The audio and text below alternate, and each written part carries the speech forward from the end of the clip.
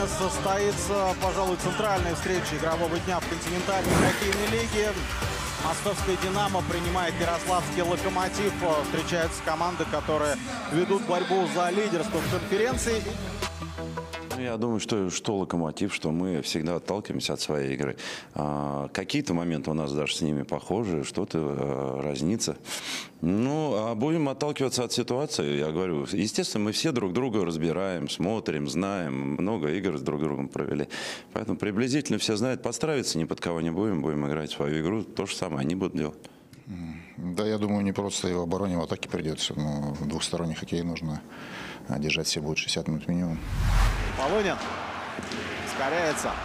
Четыре игрока «Динамо» перед ним появляются. Но Полунин красавец, выбирается на бросковую позицию и бросается на удобной руке. Островат был угол, но пришлось вступить в игру Коновалову.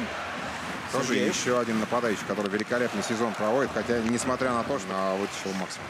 Знаешь, я думаю, в центр сегодня вообще мало кого будут пускать. Вот таких бросков будет много. Прибыльский снова набрасывает с кистей, снова с дальней дистанции, снова все видит голкипер. И про молодых. Березкин лучший ассистент Локомотива на сегодняшний день. Уилл бросает, не попадает в дальний угол. Но вот, пожалуй, лучший момент у московского «Динамо» на исходе с шестой минуты этой встречи. Ловили соперника на пересменке. Московского Спартака в столичном дерби. Готовит свой бросок. Менелло попадает. Это гол, но, по-моему, было подправление на пятачке. Действительно, зашли в зону, расположились. И, Ну и Минелла, приняв шайбу в районе синей линии, начал смещаться и в центр, и в глубину. И а, в конечном итоге а, выбрал момент а, для броска мимо нападающих. Ну и да, без рикошета не обошлось. Там, может, даже не в клюшку пакета а, шайба попала, но направление своего движения явно изменило. И справиться с этим Исаев не сумел. Гусев. Проходит передачу на вершину и снова бросает Менел, и снова гол, и снова пакет подправляет. Фантастика. Но, в принципе, все примерно так же. Гусев на Менела. Менел бросает, пакет подправляет. По два очка у этих хоккеистов сегодняшней встречи. Уже и два реализованных большинства из двух у «Динамо». Пока все наши с тобой прогнозы касательно этой игры подтверждаются. В равных составах вязкая плотная борьба, а большинство работает. Справедливости ради скажем, что и у «Динамо» тоже в равных составах моментов не так, чтобы много. Но Хотя побольше. И вот, пожалуйста, в равных. Пакет. Вот тебе и в равных. Опять пакет. И опять подправил. Хет-трик. комментировал, когда был его первый хэт-трик в этом сезоне, так как минимум. Но пока действительно складывается не то, чтобы он нашел, да, он всегда знал и всегда там играл, а такое вот как бы э, доходное место нашел на пятаке там, и причем я с ним там очень тяжело э, бороться, потому что сейчас там контролировать плюшку э, соперника очень непросто, тем более, когда он находится на движении, а пакет там играет очень много и на лиге. Ну, собственно говоря, между первым и вторым меньше месяца прошло у Седрика Пакета, и вот он продолжает копать там перед э, воротами Даниила Исаева. На этот раз динамовцы выиграли в бросовании и сразу же приступили к позиционной атаке. Пас под ворота, бросок, добивание и шайба застревает под Исаевым. Звучит свисток. Э, 17 секунд остается у Динамо на игру в большинстве. Да, я бы не сказал, как бы, конечно, счет для нас э, хороший, но мы просто хорошо воспользовались своими моментами. А так, Локомотив хорошая команда, играть еще 40 минут, поэтому нам пока рано радоваться. Игроков Локомотива. Гусев. Одел. Вилл бросает и в шлем шайба Исаева попадает. Но вот теперь отбиваются ярославцы. Успевают втроем добраться до скамьи. А ребята из э, третьего и четвертого звена, которые сумели обеспечить победу в предыдущей игре. Поэтому сейчас задача вот э, играть активно всеми четырьмя звеньями и стараться создавать моменты э, скользкие. Так что это скорее не ритуал, а скорее просто необходимость избавиться от снега на клюшке. Ярославцы приступили к розыгрышу большинства. Начали его с броска Герната. Так, и тут Каемову в лицо прилетает.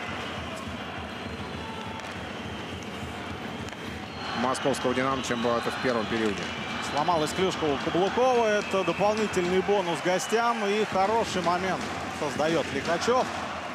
Выбрался На пятачок бросил, но пока безупречен Коновалов. Муранов прям сразу среагировал, да, как только передача пошла. И бросок, гол. Гернет попадает, попадает в притирку со штангой. И Локомотив со второй попытки тоже сумел реализовать большинство. Игра спецбригад выходит на первый план. Очень важно, что вот тут сохранили шайбу ярославцы. Хотя были близки динамовцы к тому, чтобы ее перехватить. Пошли активно, но сыграли очень низко. И никто особо-то на Герната и не выдвинулся. Пытался это сделать с каблуков, но успел Гернат прицелиться и здорово. На средней высоте отправил шайбу в угол. повода а, поболеть за себя. 20-32 победы в 50 в основное время. А в 58 матчах, опять же, один из лучших показателей в КХЛ а, в этом сезоне. Но сегодня Динамо в первом периоде такой очень неплохой задел. И перепасовку Минел и, прошу прощения, Прибыльский, да, и Поленков. И наброс на ворота. Еще одно очень важное выбрасывание в зоне атаки. Москвичи зарабатывают. Небольшая потасовка на пятачке. Ну, до драки дел сплав опыта и молодости. Бут здорово, открылся, ушел от готовца и забил. Ну вот, Мы причем только что хвалили Миронова за передачу на 40 метров. Вот такая же передача в исполнении Мартина Герната, на счету которого первая заброшенная шайба в сегодняшней игре. И здесь тоже своей передачей создал великолепный момент для а, Бута, которому надо отдать должное. Открылся просто здорово, там, а, несмотря что на, на- насыщенная такая средняя зона была у Динамо. Но и в движение Гернат попал здорово и открылся просто великолепно Даниил Бут. Ну и а, есть чему порадоваться этому молодому нападающему. Березкин, 5 секунд. Нужно уже спешить.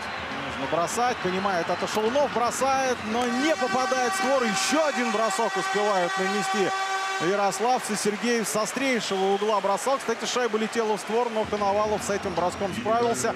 Могли ярославцы выполнить задачу по отыгрышу трех шайб еще во втором периоде и были к этому близки, но выстояли динамовцы. Ну, три гола забили в подставление, правильно? Да, пакет хорошо сыграл, тем более два гола в меньшинстве. Первый период уже прошел, сейчас еще 3-2, мы готовимся на третий период. Принес им промежуточный успех, позволил забить две шайбы. И снова позиционная атака, и снова удается выбраться из угла на пятак. Выручает Коновалов, полу... Гернат направо. Бросает Сергеев, и вот тут можно попробовать добить. Э, Не знаю, почему не стал бросать Березкин с неудобной руки. А пока разворачивался, там уже и Коновалов занял правильную позицию в воротах. Отличная смена в исполнении Локомотива. Пока лучше Готовец против него. Полунин бросок. Отбивает Коновалов. Но вот опять проходит пас на пятак, чего не было в первом периоде. И бросок с близкого расстояния по воротам Коновалова. Удел сцепился с Красковским. Ну, до драки снова дело не доходит. Ну да, сейчас важнее счет на табло. Сейчас важнее, важнее каждая смена. Понятно, что все равно уступать никто не хочет. Миронов запускает шайбу. Ильенко уходит от соперника, лезет на пятак. Как же будет обидно пропустить ярославцам по тому, что мы видим в третьем периоде. Но динамовцы мы видим очень неплохо контратакуют. Создал. Как бы вот очень правильные действия нападающего. Момент у ворот Коновалова. Каюмов. Каюмов из-за ворот. Ну, все подборы за ярославцами. Просто все они забирают в чужой зоне. Как же изменилась игра Локомотива. Сеев. Снова Иванов. Длинная передача. И не сумел Гусев шайбу остановить. Гол! Падении Никулин отправляет шайбу в девятку и 3-3. Из а, своего момента сделаешь. И здесь а, удалось создать момент. Вот как передача от Иванова была перехвачена. И шайба изменила траекторию своего движения. Но Никулин как раз именно потому, что находился на скорости, сумел а, до шайбы добраться первым. И, убрав ее под себя, вторым движением поднял в ближний угол над ловушкой Коновалова, сравняв счет. Ну вот к радости скамейки запасных а, Локомотива. Ну, Время сейчас работает на них. Каюмов на Шалунова. И тот не укладывает шайбу в ворота. Еще бросок.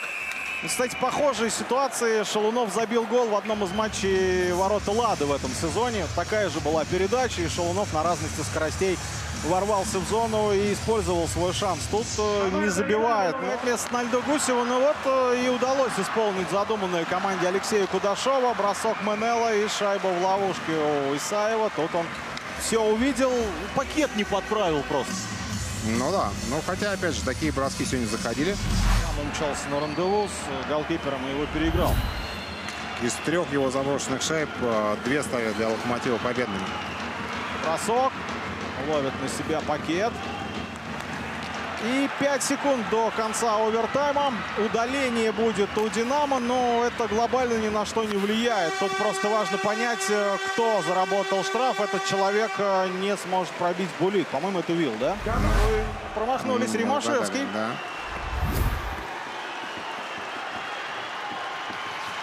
Здорово раскачал голкипера и уложил шайбу в правый от себя угол. Мастерски все сделал. И Динамовцы выходит вперед в этой булитной перестрелке. Но... Степан Никулин. Забивает. 1-1. 1-1 в этой булитной перестрелке. Тебя послушал, ты сказал бросать. А, В данном случае, как двигался а, в дальний угол. а, ну, Того игрока, который забил, у которого, похоже, все в порядке с нервами. Никулин попадает и приносит победу Локомотиву. Локомотив волевую победу одерживает, отыгрывается со счета 0-3 и в булитной серии оказывается сильнее московского «Динамо». 3-1 в сезонной серии в пользу ярославской команды. И два булита подряд сумел реализовать Степан мы Ну, и сами понимали то, что игра не потеряна, можем спокойно отыграться. То есть эти голы были, мы сами их вынудили, то есть не Динамо что-то создал, а мы допускали ошибки, сказали, что ошибки не допускать и проявить характер. Мы это сделали, выиграли матч. установивший Теперь рекорд. Гусев, да, рекорд э, установил Динамо по количеству передач в одном сезоне КХЛ среди нападающих. Ну и мы с вами смотрим, что происходит в раздевалке Локомотива после победы.